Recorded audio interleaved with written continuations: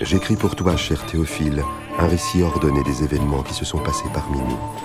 Je le fais pour que tu reconnaisses l'entière véracité des enseignements que tu as reçus.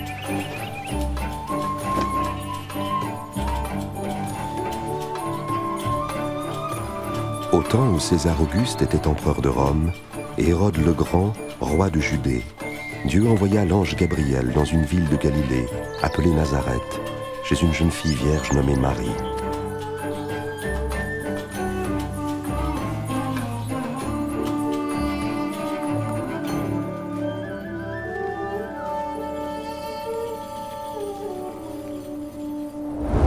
N'aie pas peur, Marie, car tu as trouvé grâce devant Dieu.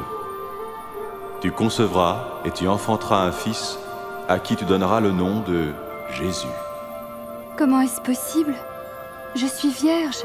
Le Saint-Esprit viendra sur toi. C'est pourquoi le Saint-Enfant qui naîtra de toi sera appelé le Fils de Dieu. Son royaume est éternel.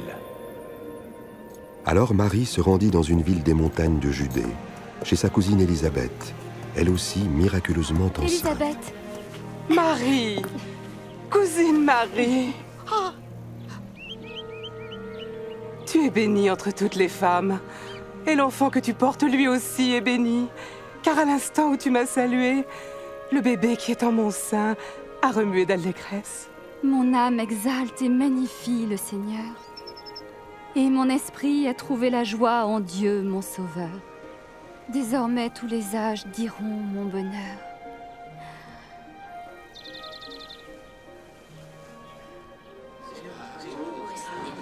Sachez, homme de Nazareth, que l'empereur César Auguste a décidé un recensement sur les territoires occupés de Galilée et de Judée.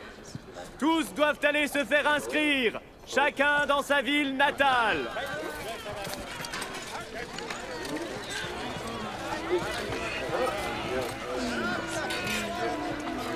Et Marie se rendit à Bethléem en Judée avec son fiancé Joseph pour se faire recenser.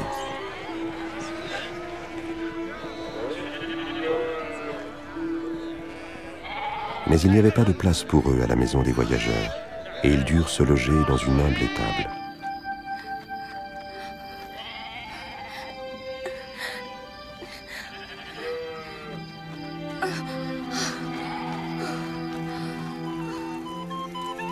Dans les champs environnants, des bergers passaient la nuit pour garder leurs troupeaux. Soudain, un ange de Dieu leur apparut, et la gloire du Seigneur resplendit autour d'eux.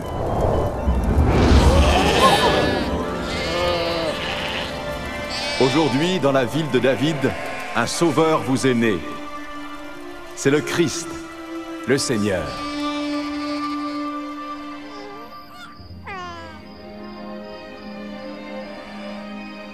Les bergers allèrent vite voir le bébé qui était couché dans une mangeoire.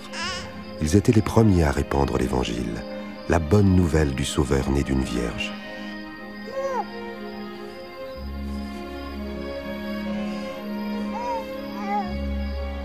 Lorsque